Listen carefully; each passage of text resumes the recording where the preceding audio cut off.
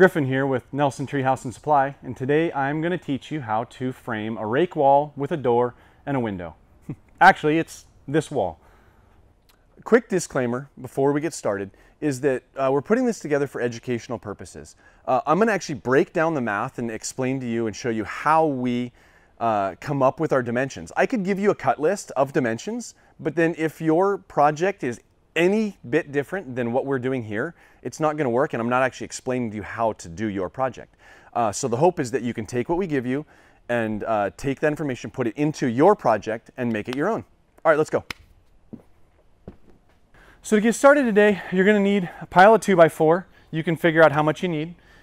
Um, and something to fasten the 2x4s uh, together with. We use a lot of screw product screws. These are just a basic number 10 by 3 inch screw. Uh, we also nail things together. You'll see me using a nail gun and a hammer. Obviously you need something to drive the screws. Um, use a speed square quite a bit and a pencil to mark the wood, otherwise you're just guessing. You'll see me cutting everything uh, on a miter saw, but a skill saw works just as well. So here's a sketch of what we're gonna do today. It's just a little eight foot by eight foot square uh, treehouse, kind of like what you know I'd love to do for my kids.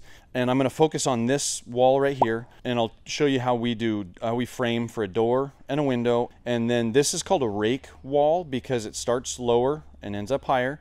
And here's the floor plan. Like I said, it's eight foot by eight foot, and there's a bunch of dimensions over here we'll use. This is the wall right here that we're gonna that we're gonna frame. Uh, we've got a dimension that takes you from outside a wall to center a window. We have a, a, window rough opening size, so that's the size we'll actually frame the hole for the window to. We've got a dimension that tells us where the edge of our hole is for the door.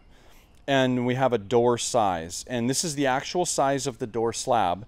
So what we will end up uh, doing is we'll frame it two inches wider and three inches taller to leave plenty of room for the, the jamb and the threshold and all of that because you really don't want to fight to try and get the door in. It's better to leave it a little bit big and shim it. So the first step is going to be to cut our bottom plate and our top plate. Okay, so to figure out our bottom plate, what you do is you take your overall dimension, which is eight feet, and you subtract this wall and this wall because the wall we're going to frame sits inside of those. So if this is three and a half inches and three and a half inches, that's a total of seven inches from eight feet, which will leave you with seven foot five. Now that we have our bottom plate figured out, we are able to figure out our top plate. Uh, we have a six inch pitch which means that for every 12 inches it comes across, it comes up six inches. Now you could use Pythagorean's theorem to figure out the length of your top plate, but I'm just gonna punch into a calculator because it's faster. So our calculations gave us eight foot, three and a half inches, long to short, because the, the plate will be cut on a bevel. Now that we know our plate dimensions, we'll go to the chop saw and cut them.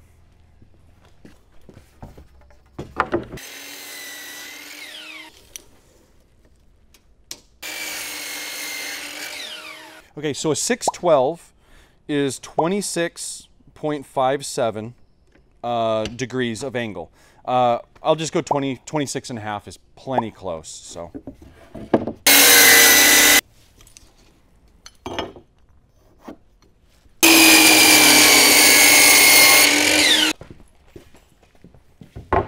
Okay, so I've got my bottom plate and my top plate, and I like to put them up on sawhorses to do layout just because I don't want to bend over. All right, when you're laying out plates on a rake wall, I always lay out the bottom plate first, uh, just because it's easy. And then once we have some of those dimensions, we can calculate where stuff goes on the top plate. You always want to start with your openings first. So for example, you want to start with your door and window, and then you can fill in your studs after that. Okay, so the first thing we're going to do is mark out the center of our window. We've got a dimension here of two foot, three and a half, but you have to remember that's to the outside. So we would lose three and a half inches off of that, which will leave us at two feet. So now that we have our center point, we can lay out the two sides of our windows. If we're 21 and a half inches wide, that'll be 10 and 3 quarter inches um, on either side of our center.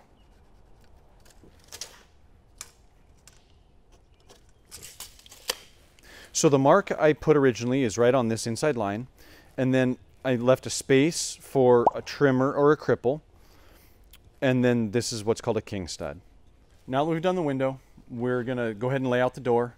Uh, if you recall, the dimension was nine inches from the outside of the building, uh, which means we have to lose three and a half inches for the plate that's gonna go right here, and that'll leave us with five and a half inches. Now that I know one edge of the door, I can measure and, uh, and find the other edge. I'm gonna burn an inch. And if my door is two foot eight, then I wanna actually have a two foot 10 rough opening, which is 34 inches. And if I'm burning an inch, that means I have to mark it at 35. So I went ahead and marked uh, my trimmer, which is the part that carries your header, and then the king studs on, on the outside of that.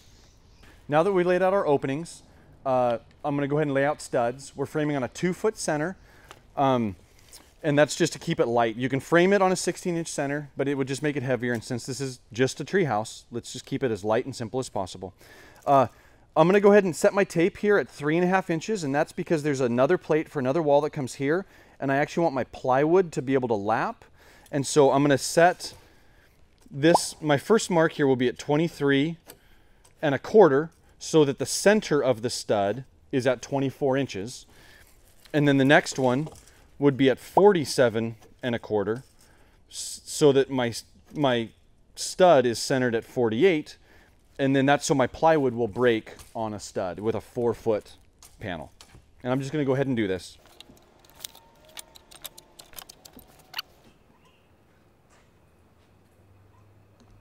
As you can see, our uh, bottom plate's laid out now. And so we'll use some of these dimensions to lay out our top plate. When you're laying out a, an angled top plate or a rake top plate, uh, I like to I like to go off the short point uh, of everything. I don't know why. That's just what I've found to be the easiest. And so what you'll need to do is you'll need to find your run on each stud as you go down. So this first one is 10 and 3 eighths. And once again, I'm going to use a calculator. Uh, you can use Pythagorean's theorem again if you would like. Um, and I'm just going to punch in 10 and 3 eighths inch run. So we end up with 11 and 19 30 seconds here. And I'm just going to do the same process for each stud.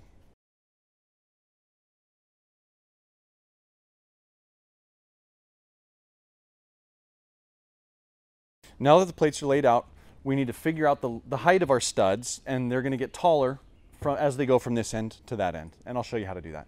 So like I said, I like to work from the short point. So we're going to figure out our shortest stud first. Um, the wall that our rake wall is tying into is five foot six inches tall. So we'll start with that and then we have to subtract our plates. An inch and a half for our bottom plate because it's just a standard two by four. And then an inch and 11 sixteenths for our top plate. If you see up here, um, if, if our two by four is an inch and a half this direction, when you cut it on a 612 pitch, this becomes an inch and 11 sixteenths because of the angle. So you have to back that off and that leaves you with 5 foot 2 and 13 sixteenths. So I'm going to take that 5 foot 2 and 13 sixteenths and start at the, the short point of our wall and I'm going to convert that to 62 and 13 sixteenths. Uh, so we're not dealing with feet in inches. At this point it's only inches and I just find the math to be easier. Um, being a 612 pitch on this, on this roof makes it really easy because whatever number you come over, you have to come up half that amount. So for example, this is gonna be 10 and a quarter, which means that we add five and an eighth. So that would be 67 and 15 sixteenths if you add it to the original 62 and 13. So this, this is actually simpler than it seems. What you do is you take your dimension from here to the short point of your stud, divide it by two, and add it to the height of your shortest stud. And then you would, for the next stud, you'd do the same. You'd go from here, get this dimension, divide it by two, and add it to your original dimension. And you just do that all the way down.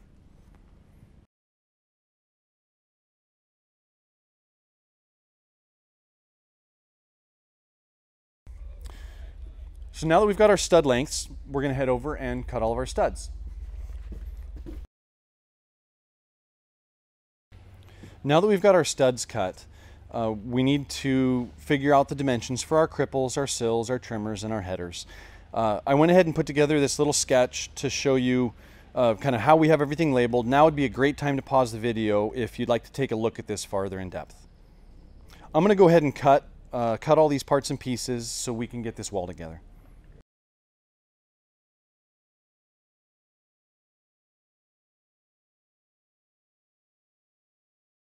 One thing I want to point out real quick is that our headers uh, here and here above the door and window are two by fours. Normally when you frame, you'd use more of a beam, a four by six or a four by eight. but because this is a shed roof and we're gonna actually have a rafter that goes right on top of this, that will act as our header, so we don't need to have a header above the door and window themselves as well. Now that we got everything cut, we'll just put it together.